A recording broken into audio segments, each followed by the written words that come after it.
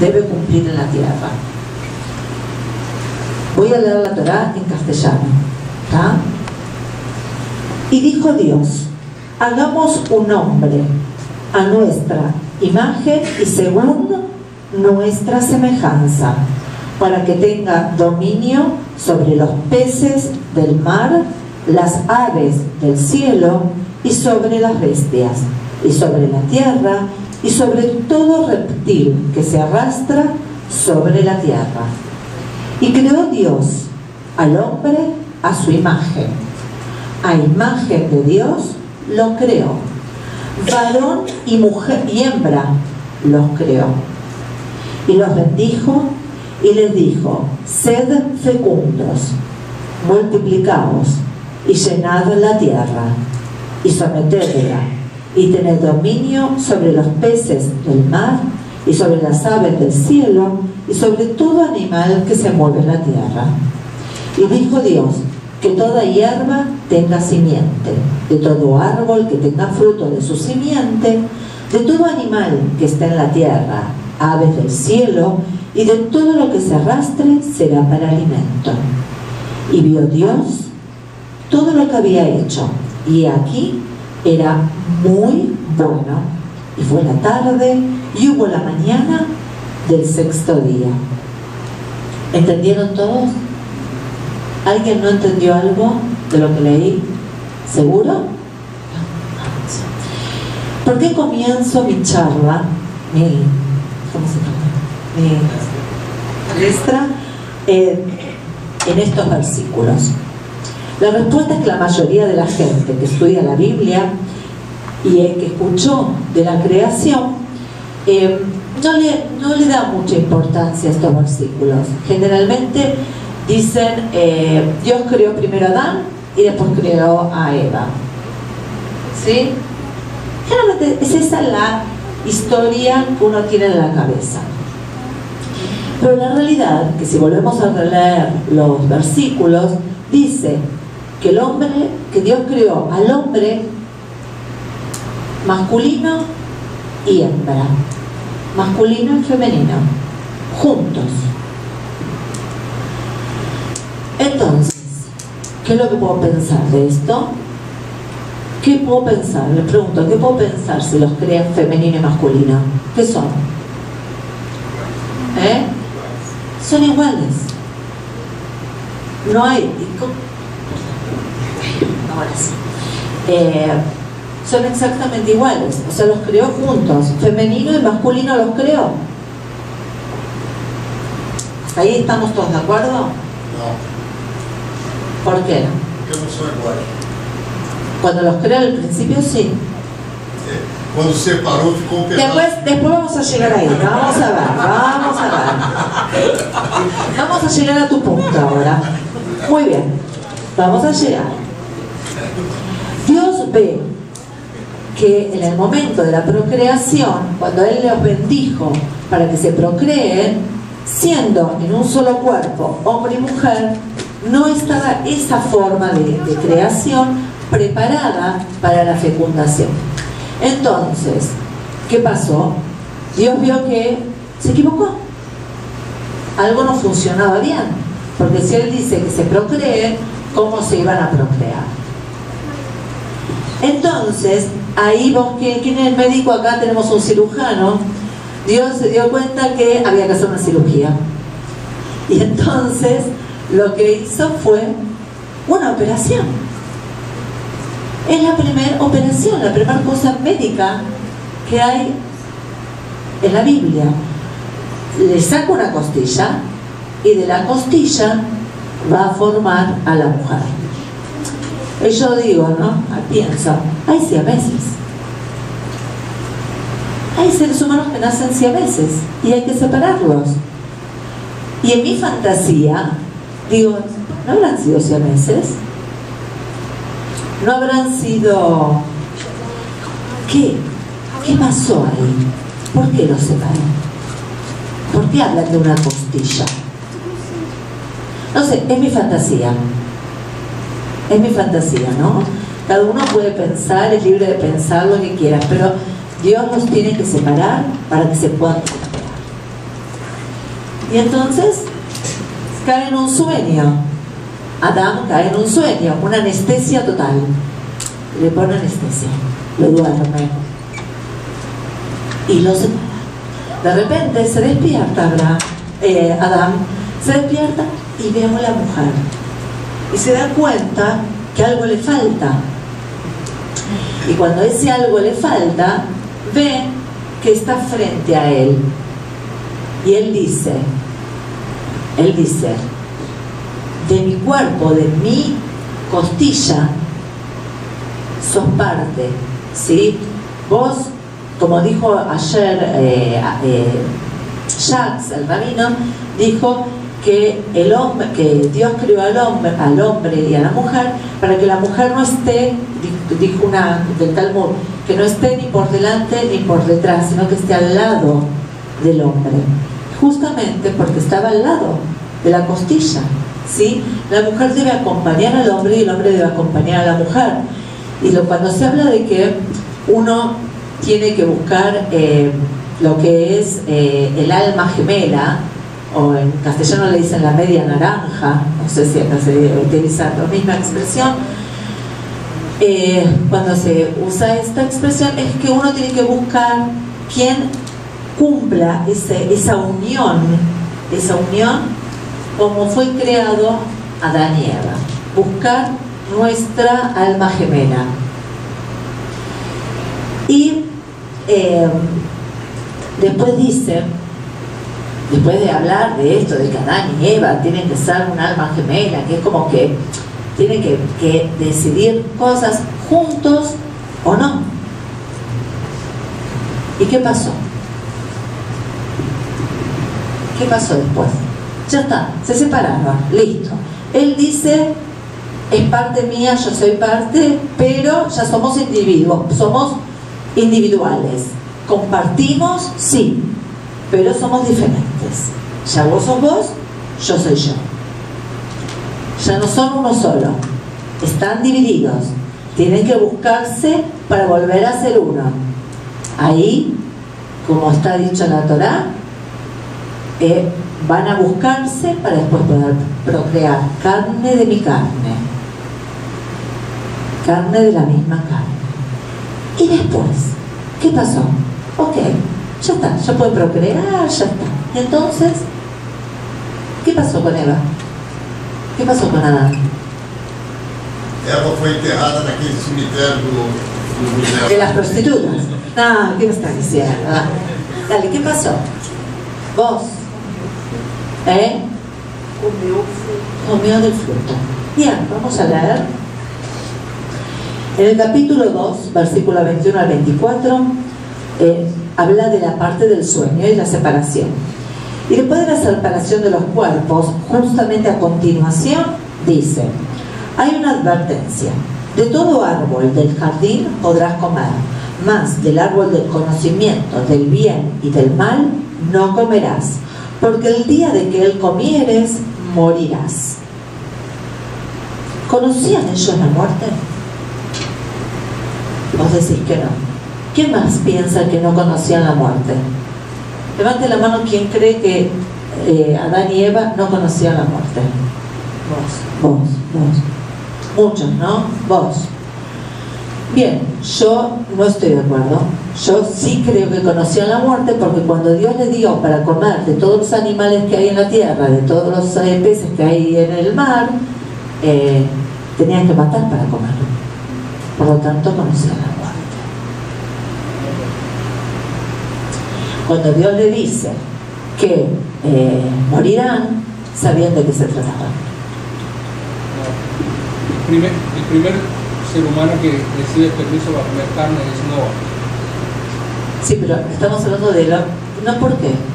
Pide permiso, pero acá, acá eh, dice que puede comer. Acá en la Torah está escrito así, ¿eh? De todo fruto podrán comer, de toda carne podrás, dice así, de toda hierba que tenga simiente, de todo árbol que tenga fruto de su simiente, de todo animal que esté en la tierra, aves del cielo y de todo lo que se arrastre será para alimento.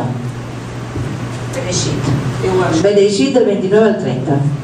Na versão que eu tenho, não tem os animais. Cadê? Está en la, está en la traducción de la Torah. ¿eh? Podemos abrir una Torah, buscamos Bereshit y lo leemos. Eh, está escrito así. ¿Alguien tiene una, un internet? Y lo buscamos. Y vio Dios que todo lo que había hecho era, era muy bueno y fue la tarde, ya estaba yo por buscar. Y fue la tarde y hubo mañana el sexto día. Esto es parte de la creación del sexto día. Entra no site do Rabat, ela vai estar dizendo que só pode comer o que o Rabino chamar ele No, no es de Jabad, eh, justamente no es de esto. El Génesis. ¿Qué es el capítulo 1? Ya te digo, Ele fabrica maçã e não come a capítulo 1, capítulo 1, 29 al 30. E disse, e disse Deus: Eis que vos tenho dado toda a erva que dá semente, que se acha sobre a face da terra, de toda a terra, de toda a árvore que há fruto de árvore que, que dê semente, a vós servirá para comer. E para todo o animal da terra, e toda a ave dos céus, e tudo que se arrasta sobre a terra, em que haja uma vida. De toda a verdura de erva será para comer.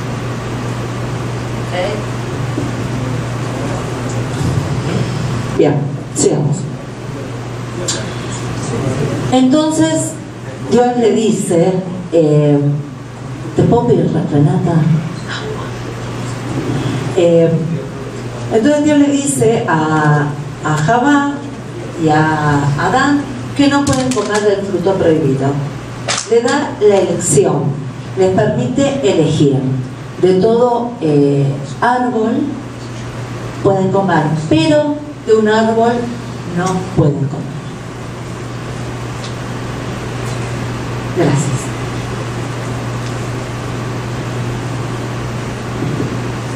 La pregunta es, mi pregunta es hacia ustedes, ¿qué pasa con Adán y Eva en este momento que hay un, árbol, un fruto que está prohibido? ¿Qué pasó? ¿O qué piensan que puede pasar? ¿O qué les pasaría a ustedes? Vení, Daniel, vení en la fonda. Habla ahí, estoy hablando de mí. Eh, ¿Qué les parece a ustedes? ¿Qué piensan?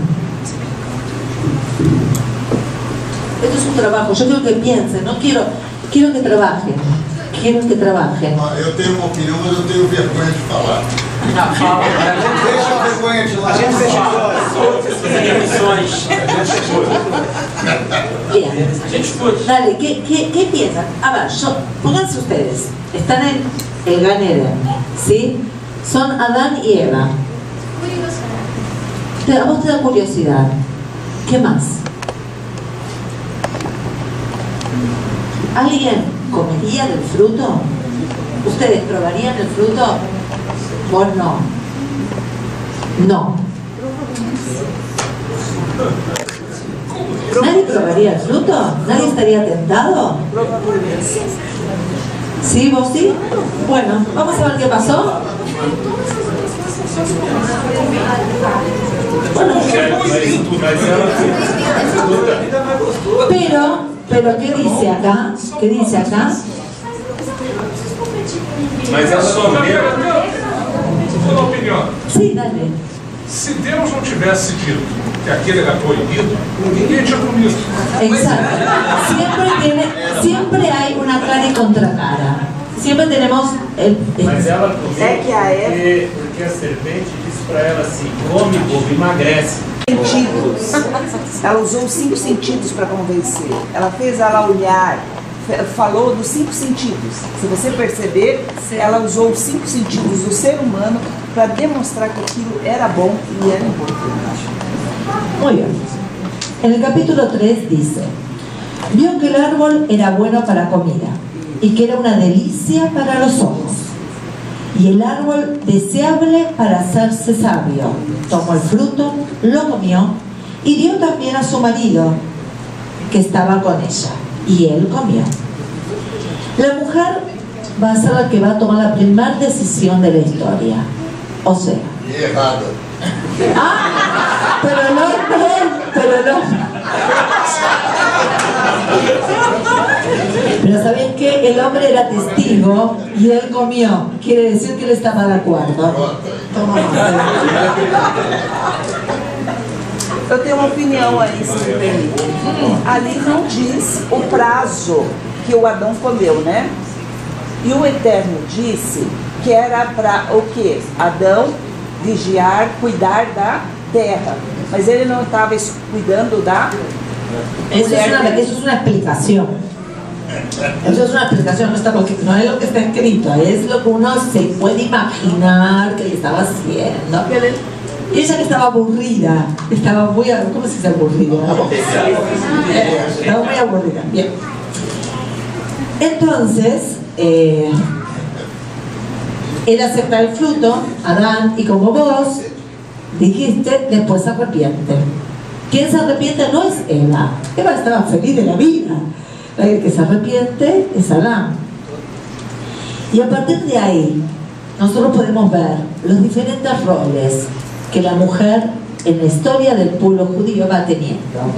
Está la mujer que es piadosa, está la mujer que es envidiosa, está la mujer que eh, es, ¿cómo que se llama? Sumisa, que agacha la cabeza, ¿no? Sumisa. Sumisa. Y muchos otros tipos de mujeres, la que es sexy, la que es nada, la que, ¿no? Tenemos de todo tipo de mujeres. La historia con quién continúa. ¿De qué mujer después van a hablar? Termina la historia de Adán y Eva, terminó, a tener hijos, no importa Caín y Eva, porque estamos hablando de estamos hablando de las mujeres, ¿eh? hoy somos nosotras las importantes. ¿Sí? Eh, la pregunta es, después quién viene, cuál es la mujer que viene, es la esposa de Noé. Pasan generaciones, 10 generaciones, y viene la esposa de Noé.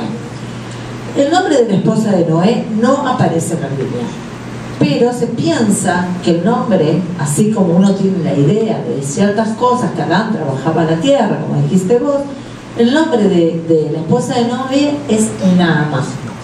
Naama significa una persona hermosa, bella. ¿Sí? ¿Y por qué dicen eso? Dicen que Naama era descendiente de la familia de Caín. Caín fue el primer asesino. Y ella era una mujer materialista. En cambio, Noé, su esposo, era un marido, su marido era un hombre creyente, era un hombre religioso en el sentido espiritual, ¿sí? En, ese sentido hablo. Y ella era todo lo contrario. Pero acá hay algo importante. Naamá era compañera, discutía con su marido por ser diferente pensamiento, pero lo acompañaba en sus decisiones. O sea, a pesar de que pensaban diferente, nada que ver con Eva. Eva tomaba decisiones. Ella comentaba nada más, podía discutir, pero hacía, en definitiva, lo que quería el marido. ¿Está? Diferentes mujeres, estamos viendo las personalidades.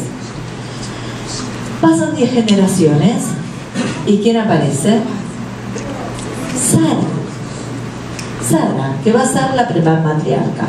Y sobre Sara es muy interesante porque a partir de Sara empieza el tema de la esterilidad.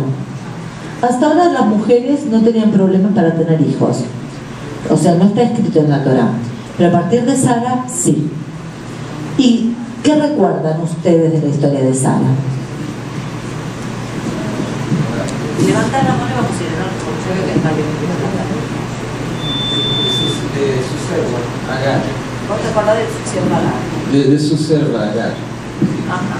¿Qué más se acuerdan? ¿Eh? Que era celosa. Ah, celosa. ¿Qué más? ¿Qué más pueden decir de Sara de la? ¿Qué más pueden decir de la personalidad de Sara? Que era bonita. No sé dónde lo leíste, pero está bien. Era bonita. Eh, ¿Qué más? O vamos a ver lo que escribí yo de, la, de Sara. Sara fue, que, fue la primera mujer monoteísta. Fue la primera mujer que creyó en Dios como creador del todo.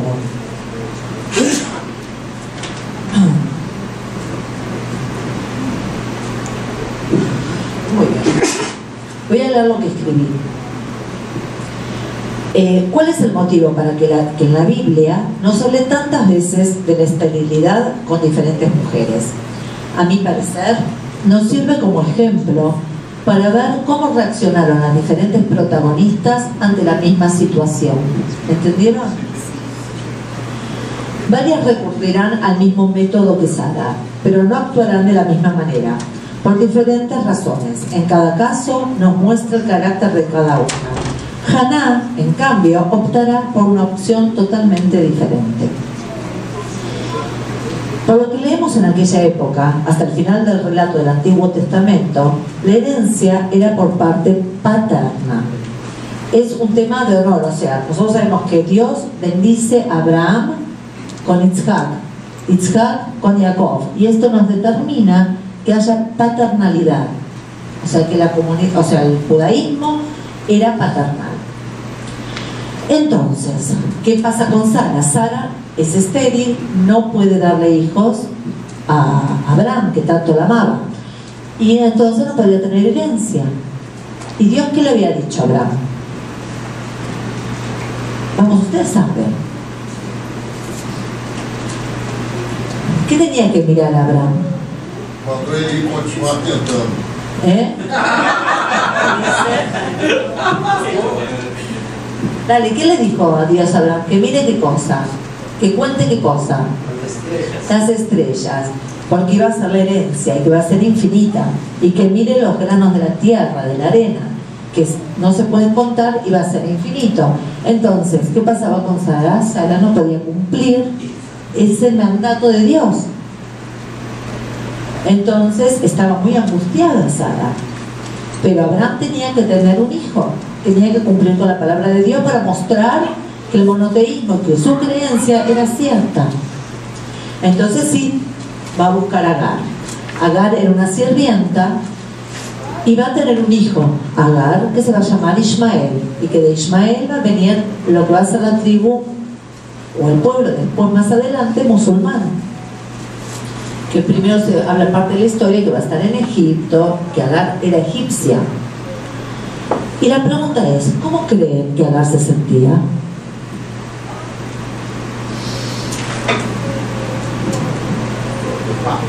De vuelta. Adán, eh, Sara, le, di- Sara le dice a Abraham que tenga hijos con Agar. ¿Cómo creen que Agar se sentía en esta situación? Agar era la empleada de Sara. ¿Cómo ustedes como mujeres, le pregunto a las mujeres, ¿cómo se sentirían ustedes si le dicen, te- tra- trabajan en un negocio, trabajan con alguien y le dicen, vos tenés que ir eh, y tener un hijo con mi marido? Ela se sentiu dona, tanto é que começou a humilhar a própria Sara. Ah, Ela. una vez que queda embarazada se siente que es dueña como Sara. ¿Qué más? ¿Qué piensan? Tinha o poder, seria a mãe das nações. Se achou. ¿Saben lo que pienso yo? ¿Eh? Um da barriga. Si yo fuera una mu- la mujer, fuera Agar, yo me sentiría muy mal. ¿Por qué? Primero porque tengo que tener relaciones sexuales con un hombre que yo no amo. ¿Sí? Por obligación. Es como una esclava. ¿Sí? Mas ela teria o poder através do filho, que ela poderia influenciar o filho e ter o poder. Eso va a pasar después. Pero ella estaba muy enojada. Agar muestra en la Biblia, dice, está muy enojada. Yo me pongo en la situación de la mujer. ¿Cómo me sentiría? Si yo fuera Agar, ¿cómo me sentiría? Además, no solamente eso, tener relaciones con una persona que ni siquiera pertenecía a mi pueblo, porque ella era egipcia. Era un deshonor. Era su primer hijo, no habla de otro hijo de Agar. Es complicado, ¿no? O sea, cuando yo leo la Biblia, eh, no la leo así nada más como un cuento. No es leer nada más, es tratar de interpretar mi pensamiento actual, moderno, también escuchar el pensamiento de otros pensadores, pero no me puedo quedar solamente con lo que me dicen. Empieza a mofar de ella. Bueno, no importa. Eh, ¿eh? Y eh, pasa que que era una ciudad que estaba impura, que estaba con problemas de violaciones, de, homosexualidad, en esa época no se lo consideraba algo permitido, hoy estamos con una mente mucho más abierta, ¿sí? Bueno, ¿y qué pasó con esta ciudad? Estas dos ciudades, esta ciudad de Sodoma y Gomorra van a desaparecer. Y aparece un personaje acá, que no lleva nombre, que es la esposa del otro. Lot era un sobrino de Abraham. ¿Sí? Y vuelve la curiosidad como Eva. Cuando se tienen que ir de la ciudad de Sodoma y Gomorra, la esposa de Lot se da vuelta y Dios había indicado que no mirara hacia atrás. Pero esta cosa de curiosidad que tienen las mujeres, que somos muy curiosas y chusmas, no sé cómo se fala chusmas, ¿qué es ese chusmas? Eh, Fofoquera. ¿Eh? No importa. Eh, esta cosa que pasa con, la, con, con Lot, que mira y se convierte en una estatua de sal. Y el padre tenía dos hijas. Y estas dos hijas entendían que no iba a haber heredero. Y sabemos entonces que el nombre de la madre de las chicas no lo sabemos. Y el nombre de las chicas tampoco lo sabemos. ¿Por qué? Porque estas niñas, que ya eran adolescentes y que ya podían procrear, em, ¿cómo se llama? Embebieron, ¿cómo se decía? Emborrachar, que le dijiste. Sí. Bueno, como se diga, eh, emborracharon al padre. ¿Sí? Emborracharon al padre y las chicas, la mayor quedó embarazada del padre. No se sabe los nombres de las chicas, ¿por qué? Porque se las preservó, porque no lo hicieron con mala intención. Y el padre no fue castigado por incesto, porque él tampoco lo hizo a conciencia. Entonces no tuvo castigo. Ni las mujeres tuvieron castigo, ni las hijas tuvieron castigo, ni tampoco el padre, porque el padre no estaba eh, coherente en ese momento. Finalmente, estas niñas van a tener, o sea, la primera niña va a tener, eh, ah, hay algo que me acordé. Eh, en la cueva donde eh, las chicas se habían escondido con el padre, se llamaba Zoar, la cueva. En la Biblia dice que llamaba Zoar, y Zoar significa iluminación, porque dicen que en, esa cueva entraba luz, y después aparece el libro de la Kabbalah, muchos siglos después, que también se va a llamar Zohar, que significa iluminación. Me acordé esto al pasar. Eh, bien. Eh, bueno, hablábamos que eh, las niñas, esto ya lo, lo dijimos, bueno, hablamos que las niñas van a tener una descendencia. En la descendencia habla de Milka y de Betuel y que van a ser eh, parte de la familia de lo que va a ser eh, la, próxima matriarca que es Rivka. ¿Qué recuerdan ahora ustedes de Rivka? ¿Qué, ¿Qué pasó con Rivka? Yo les hablé un poquito. A ver, ¿quién era Rivka? Tenemos Sara y ahora viene la segunda matriarca, Rivka. Ah, la mamá de, de gemelos, excelente. Son los primeros gemelos de la historia. A partir de acá tenemos los primeros gemelos de la historia. Embarazo múltiple. ¿Qué más tenemos de Rivka?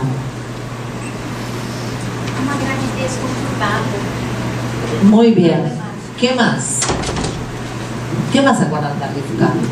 Vamos, yo necesito que ustedes piensen. Vamos. sé que están cansados, sé que están, pero necesito que, vamos, las pilas. Ella, ella era estéril, Rivka, era estéril. Sí. ¿Eh? Ella, ella tiene un bocadito para engravidar. Los sabes dicen que la tradición, eh, cuando su hermano, cuando ella está dejando la carne de su papá, de su mamá, después uno de sus, sus hermanos va a bendecirla, pero como no era una persona buena, intervención. Esos son, no, no dice eso, pero es tradición. Dice así, la primera parte es cómo se enamora Rivka de Itzhak. Dice así, Rivka conoce a Itzhak en el camino. Él estaba rezando al atardecer. Ella detiene la marcha para preguntar quién es ese hombre que le impactó. Y le dicen que es Itzhak, su pretendiente. Se conoce, pero ella muestra una actitud de recato. Se cubre el rostro. Itzhak se hace eco de esa mujer, o sea, mira a esa mujer, se enamora de esa mujer y la toma por esposa. Y obviamente, en este caso, Rivka estaba de acuerdo, ¿sí? No como en casos anteriores. Bueno, Rivka se diferencia mucho de quien fuera la primera matriarca. Es una mujer decidida a correr riesgos. Ya se vio su carácter, su seguridad cuando ella decide irse, cuando Abraham dice que hay que buscar un hijo, una mujer para Isaac, ella abandona a su familia en busca de quién iba a ser su esposo. O sea, ella tenía ganas de casarse con alguien. ¿Sí? Quería tener una familia, formar una familia, dejar a su propia familia en busca del hombre del pretendido, ¿no? Y ella tiene un carácter convencido de lo que quiere hacer y va en busca de esta pareja. Lo importante de Rivka, que Rivka va a ser la madre de las futuras 12 tribus. ¿Sí? Ella va a engendrar a estos hermanos, quienes eran Esaf y Jacob. Como ella dijo, se peleaban en la panza. Después también tuvieron peleas entre los hijos, pero también había preferencia entre la madre. La madre a quien prefería era Jacob y el padre a quien prefería era Esaú. Entonces, esto también produce envidia y bronca entre los hermanos. Pero lo que pasó fue que eh, Abra- eh, Jacob era un hombre que estaba siempre en la casa, dicen que era un estudioso, y Isaac era un muchacho que trabajaba en la tierra, cazaba animales, porque era más bruto, ¿no?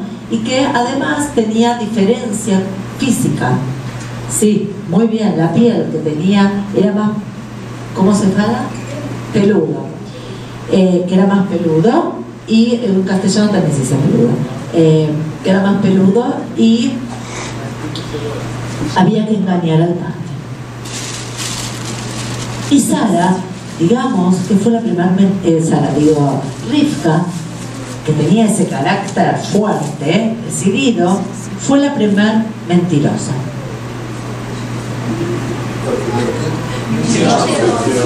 Mentirosa. Fue la primera que le dijo, ¿eh?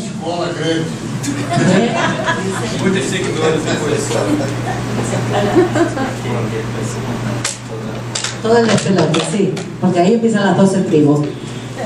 Entonces, ¿qué pasa con ellas? Con, con ella. Ella, que tenía esta forma de ser, hago lo que yo quiero, hizo lo que ella quiso. Ella escuchó y ayudó a ese hijo. Primero lo ayuda al hijo amado preparando la comida para cambiar la... eh. ¿Eh? La primogenitura, sí.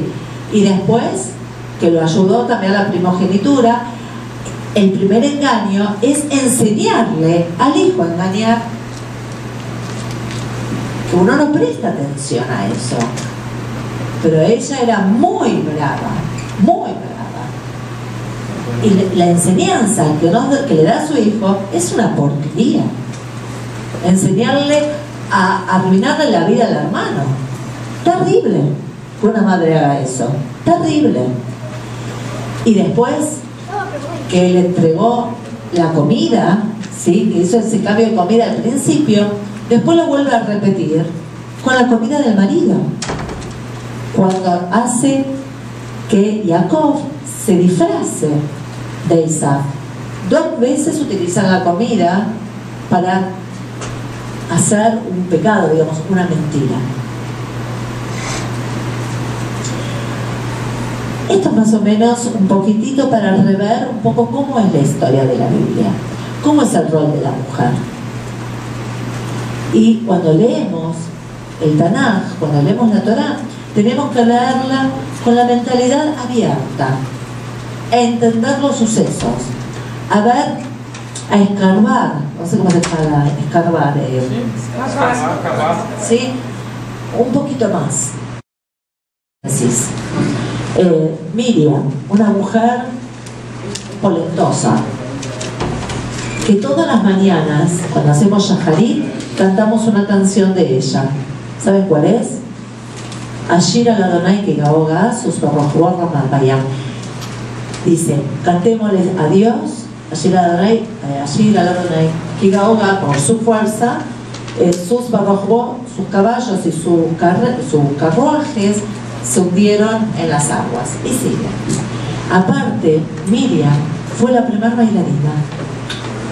Sí, fue la primera bailarina. Y no solamente la primera bailarina, fue también la primera que sabemos que tocaba instrumentos, porque tocaba el pandero, era percusionista.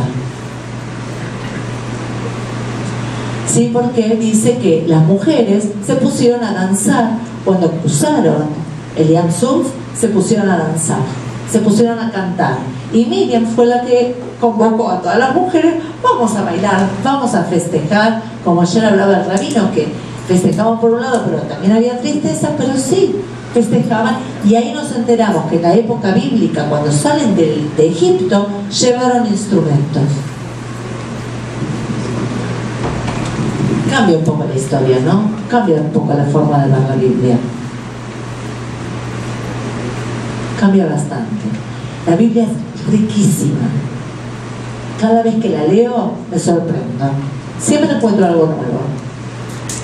La Biblia es antigua, pero es moderna.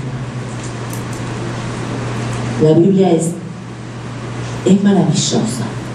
Es increíble. Increíble. Hay que aprender a leer. Hay que leer entre renglones ¿Se entiende? Entre líneas. Entre líneas. hay que leer entre líneas. Y hay que aprender hibrid, porque leyendo la Torah en hebreo no es lo mismo que una traducción. No es igual. El entendimiento es muy diferente. Las palabras eh, están a veces cambiadas y el significado cambia. Bueno, yo eh, los invito si me quieren hacer alguna pregunta y si no, continuamos mañana con otras mujeres. Pero bueno, hay muchísimas más. Pero de la Biblia, de lo que es el primer testamento, lo que es eh, el Kumash, el Shmot, Baikrava, Barim, las únicas otras mujeres que aparecen son Yohebed, la madre de Moshe, que mucho no habla, habla de Yohebed que también va a salvar a su hijo, que va a preparar la canasta para meterlo a Moisés en el mar, pero ella no se anima a dejar ese bebé.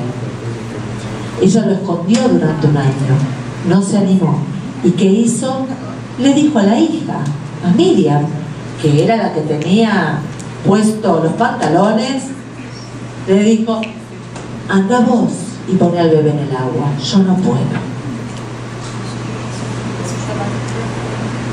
¡Qué madre!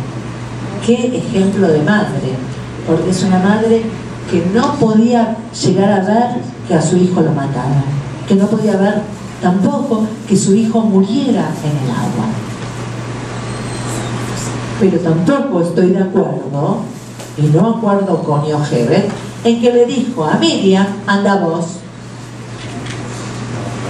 No estoy de acuerdo con eso, pero así fue la historia. es mi forma de pensar, que una madre mande a un hijo a que haga lo que ella no podía hacer con su propio hijo. Qué responsabilidad, ¿no? Para con la hija. Qué responsabilidad para una hermana poner un hermano en el agua, que se podía ahogar. Para analizar, ¿eh? Es para Freud. ¿Eh? Bueno, eh, esto más o menos son las mujeres. Quedan dos más que son las parteras. Hablan de las dos parteras que las, las dos parteras que estuvieron en el parto de Moisés y en los otros hablan, nunca hablaron de parteras. Las otras partes no se saben. Pero en esta sí porque fueron las que ayudaron a justamente porque fueron valientes, sabiendo que en Egipto estaba prohibido tener hijos eh, judíos, porque hebreos, no judíos, eh, eran del pueblo de Israel, de Israel en ese momento, los mataban, había que matar a esos niños varones. Y estas dos mujeres eran dos mujeres que realmente tenían coraje y ese coraje hacía que se salvaran los niños. Entonces son estas dos mujeres que también van a aparecer y no hay más. No hay más. Bueno, yo con Cipora tengo ahí como agarre, estamos, claro, Cipora o Séfora como no pertenecía a, a Israel. Y de hecho, Moisés, cuando tiene un hijo con ella, sí, porque era medianita, cuando tiene un hijo con ella, eh, lo va a llamar Gershon. Y Gershon significa extranjero. O sea que ni siquiera Moisés lo tuvo a ese hijo como su heredad, porque cuando van a entrar a Eretz no lo va a llamar a Gershon para que continúe con su labor, lo va a llamar a Yoshua bin. Entonces ahí hay una historia importante, ¿no? ¿Qué pasó con esa mujer? Era, él, él mismo decía que era una extranjera, o sea que no la consideraba parte de su pueblo. Só que ela recebeu um parte da herança, né? Enquanto a outra não recebeu. Sí. Ele deu uma parte para. Está bien, está bien, pero digamos que no fue el continuador de su obra. Não. Eh, ahí, bueno, ahí estamos con el tema de qué importancia, qué fue más importante, Yoshua bin Nun para Moshe, que decía que era su Yada Mini, que era su mano derecha, que su propio hijo. Existe uma corrente, não sei se a senhora concorda, que eh, os filhos dela seriam o- os chineses, japoneses, seria a Rússia hoje. No sé, la verdad que no, no- no lo sé. No, no sé, era el pueblo midianita. Bueno, eh, a mí me tocaba hablar de este tema. Yo quería, o sea, intento, mi, mi intención es que ustedes puedan pensar un poco más allá del texto. Eh, esa es la idea. Bueno, eh, espero que hayan disfrutado. Sí, sí, sí, si no, no. Eh.